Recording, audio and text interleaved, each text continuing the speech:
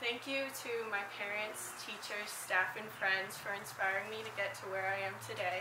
I wish all of you the best of luck in whatever you hope to pursue after this.